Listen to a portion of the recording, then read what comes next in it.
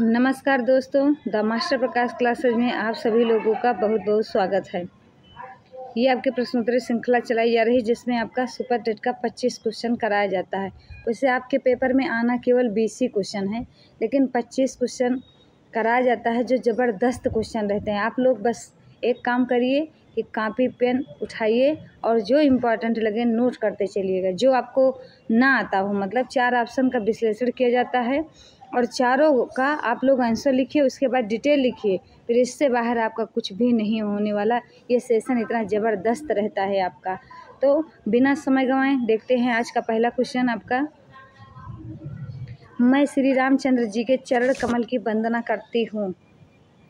देखिएगा क्वेश्चन इतना बेहतरीन है कि पहले ही श्री राम जी की प्रार्थना करके आगे हम लोग बढ़ रहे हैं।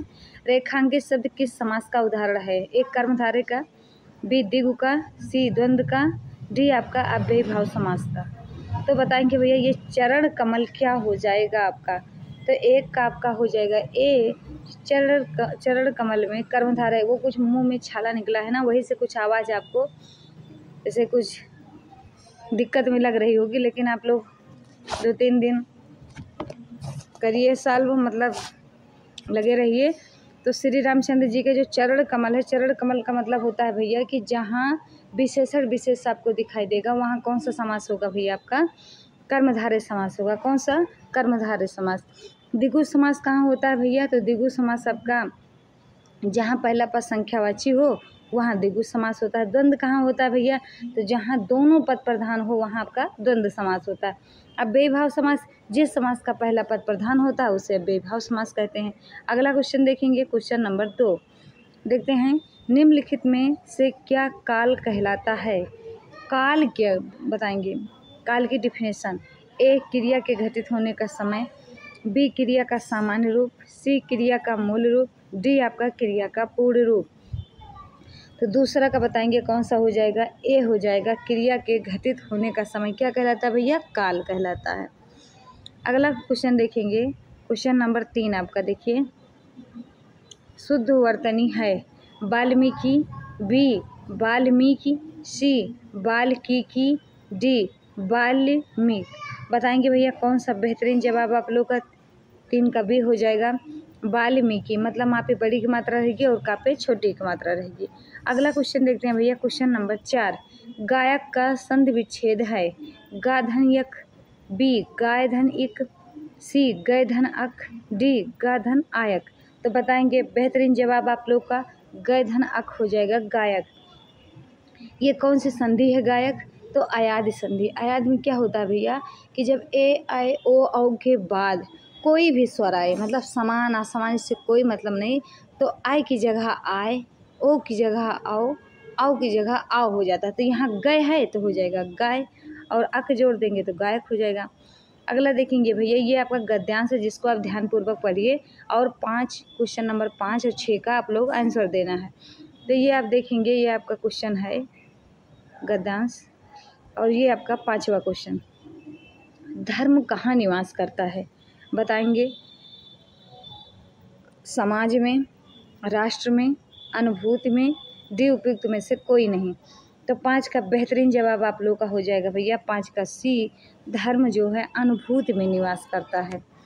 अगला क्वेश्चन देखेंगे क्वेश्चन नंबर छः जीवन के उच्च स्तर पर पहुँचने के लिए किन तत्वों की आवश्यकता होती है? ए, पैसा, सुख और प्रेम। ये आप अपने मन से नहीं दीजिएगा, नहीं तो आपको लगे कि हमको क्या चाहिए और वही बढ़िया अपनी इच्छा अनुसार आंसर दे दें।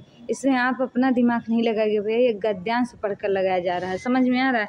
नहीं कहो, हमको तो कुछ लोग तो भैया, पूर्णता ज्ञान आनंद चाहिए, कुछ लोग को तो पैसा, सुख, प्रेम चाहिए, कुछ लोग को प्रेम और सद्भावना चाहिए। ये अपना नहीं बताइएगा, है कि नहीं? ये गद्यांश पढ़ के बताना है। तो बताएँगे, ए ऑप्शन, पैसा, सुख और प्रेम। बी, प्रेम और सद्भाव की भावना। सी, पूर्णतया ज्ञान और आनंद। डी, इनमें से कोई नहीं।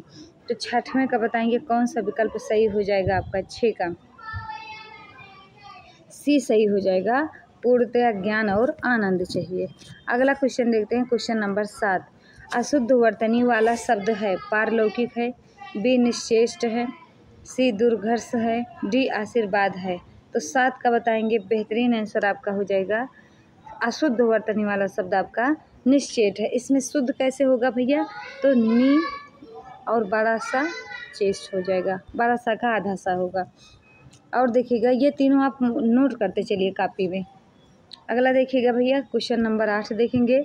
लघुर में कौन सी संधि है? ए, वियोग संधि है, बी, व्यंजन संधि है, सी, स्वर संधि है, डी, विसर्ग संधि है।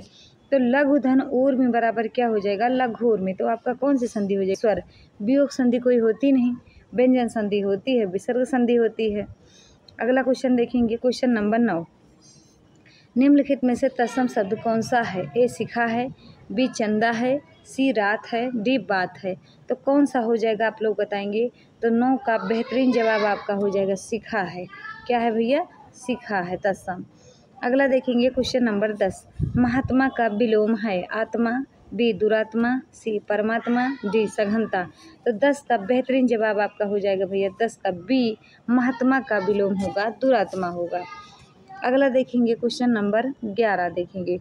निश्चित रूप से घटित होने वाला वाक्यांश के लिए एक शब्द निर्माण होगा। ए भावी, बी संभावी, सी भविता, डी भविष्य तो ग्यारह का कौन सा हो जाएगा बताएँगे। बेहतरीन जवाब भविष्य अगला देखेंगे क्वेश्चन नंबर बारह। निम्नलिखित में से शुद्ध वाक्य को चुनिए। ए बंदूक एक उपयोगी शस्त्र है। बी श्री कृष्ण के अनेकों नाम हैं। सी हमारी सौभाग्यवती कन्या का विवाह होने जा रहा है। डी किसी भी आदमी को भेज दो। तो बारह का बताएँगे भैया। बारह का ए हो जाएगा। बंदूक एक उपयोगी शस्त्र है। अगला क्वेश्चन देखेंगे। क्वेश्चन नंबर तेरह। निषिद्ध सर्वथा उपयुक्त विपरार्थक शब्द है। बताएँगे। ए निश्चित बी विहित सी उचित डी निर्मित। तो तेरह का बेहतरीन जवाब आपका हो जाएगा निषिद्ध का विहित हो जाएगा। अगला क्वेश्चन देखेंगे क्वेश्चन नंबर चौदह। अभी अभी जन्म लेने वाला वाक्यांश के लिए एक शब्द बताइए। जन्मा, बी, नवजात, सी, जन्मजात, डी, अजन्मा। तो चौदह का बेहतरीन जवाब आपका हो जाएगा। अभी अभी जन्म लेने वाला क्या होता है? नवजात होता है। अगला क्वेश्चन देखेंगे, पंद्रह। हल्दी शब्द का तत्सम है। हरदी, बी हरिद्रा, सी हल्दिका, डी हरिद्रिका। तो पंद्रह का बेहतरीन जवाब आपका बी हो जाएगा, हरिद्रा हो जाएगा। अगला क्वेश्चन देखेंगे क्वेश्चन नंबर सोलह। निम्नलिखित में से पुल्लिंग शब्द छांटिए। ए चाहत, बी रंगत, सी मेहनत, डी आहार। तो चाहत आप बताएँगे, चाहत की जाती है, चाहत किया जाता है, बी रंगत। तो बताएँगे आप लोग कौन सा हो जाएगा, सोलह का। डी आहार जो है आपका पुल्लिंग है। और तीनों आपका स्त्रीलिंग है। अगला क्वेश्चन देखेंगे। वैसे भी जो सेंसिटिव शब्द आपको दिखाई दे, जैसे चाहत वगैरह तो आप स्त्रीलिंग मार दीजिएगा। सत्रह देखेंगे। सद्भावना शब्द में समास है। ए बेभाव समास, बी तत्पुरुष समास, सी, कर्मधारय समास और डी, आपका द्विगु समास।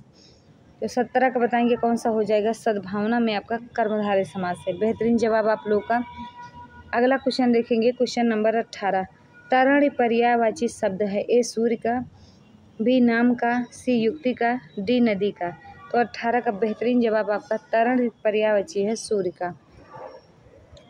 अगला क्वेश्चन देखेंगे, उन्नीस। पुल्लिंग शब्द का चयन कीजिए, कर्ता, बी याचिका, सी विदुषी, डी मूर्खा। तो उन्नीस का बेहतरीन जवाब आप हो जाएगा, आपका पुल्लिंग शब्द जो है कर्ता है। अगला देखेंगे क्वेश्चन नंबर बीस। निम्नलिखित में से कौन सा निंदा का पर्यावाची है? एक उत्साह बी बरखुरदार सी अपस्मार डी, स्तुति। तो बताएँगे, निंदा का पर्यावाची क्या होगा? ये हो जाएगा भैया, निंदा का पर्यावाची हो जाता है कुत्सा। समझ रहे हैं? अगला देखिए देखना है क्वेश्चन नंबर इक्कीस। माल गाड़ी शब्द का समास विग्रह है। ए, माल की गाड़ी, बी, माल से गाड़ी, सी, माल के लिए गाड़ी, डी, माल द्वारा गाड़ी। इक्कीस का बेहतरीन जवाब आपका हो जाएगा माल के लिए गाड़ी। अगला देखेंगे बाईस। परिकर का अनेकार्थी शब्द नहीं है। ए कमरबंद, बी परिवार, सी समूह, डी क्षत्रिय। तो बाईस का बेहतरीन जवाब आपका हो जाएगा परिकर का अनेकार्थी शब्द जो होता है, क्षत्रिय होता है। अगला देखेंगे क्वेश्चन नंबर तेईस। ये बहुत बेहतरीन है, घर वाले हैं ना, जब कुछ गलत हो जाता है तो यही कहते हैं। गुड़ गोबर कर देना। मुहावरे का उचित अर्थ बताइए। ए कोई बखेड़ा खड़ा कर देना। बी, का, गायब कर देना। सी, बना बनाया काम बिगाड़ देना। डी, अपनी हानि करके मौज उड़ाना। तो तेईस का बेहतरीन जवाब आपका हो जाएगा। सी, बना बनाया काम बिगाड़ देना। अगला क्वेश्चन देखेंगे। क्वेश्चन नंबर चौबीस। निम्नलिखित में से कौन सा शब्द एक वचन है? आकाश, बी, दर्शन, सी प्राण डी आपके आँसू। तो बताएँगे चौबीस का ज़बरदस्त आंसर आप लोगों का तो चौबीस का ये हो जाएगा आकाश। जो है एक वचन है और सब जो है दर्शन, प्राण, आँसू, ये सब आपके बहुवचन। इसको नोट करते चलिए, जितना सेशन में एक एक आध बार तो ये क्वेश्चन मिल ही जाता है और जब आप सुपर टेट में बैठेंगे ना, तब भी ये क्वेश्चन आपका आएगा। तो इसलिए इस सबको नोट डाउन आप लोग करते चलिए। पच्चीस देखेंगे, माँ ने बाज़ार से कपड़ा खरीदा रेखांकित का कारक बताइए। ए कर्ता कारक, बी करण कारक, सी कर्म कारक, डी आपका अधिकरण कारक। तो पच्चीस बताएँगे भैया आप लोग, सी हो जाएगा माँ ने बाज़ार से कपड़ा खरीदा। तो बाज़ार से कपड़ा खरीदा तो ये बाज़ार से कर्म किया। तो ये आपका सेशन का आखिरी क्वेश्चन था। वीडियो कैसी लगी आप लोग कमेंट बॉक्स में ज़रूर बताइएगा। आपका कमेंट ही हम लोग के लिए मोटिव होता है और बेहतरीन करने की हम लोग बेहतरीन करने की तैयारी करते हैं और आप लोग कापी कलम लेकर ज़रूर बैठिएगा ताकि कुछ भी क्वेश्चन आए आपका तो आप लोग उसको लिखते चलिए। और बता देते हैं, अगर ऐसे ही आप लोग दस सेशन केवल पढ़े तो ग्यारहवें सेशन में आपका पच्चीस में पच्चीस क्वेश्चन जाएगा। समझ रहे हैं ना? तो आप लोग मेहनत करके लगन लगा के पढ़ते रहिए, मस्त रहिए और सुपर टेट में आए तो आपकी एक सीट पक्की हो जाए। तो मिलते हैं अगली वीडियो में तब तक के लिए जय हिंद जय भारत।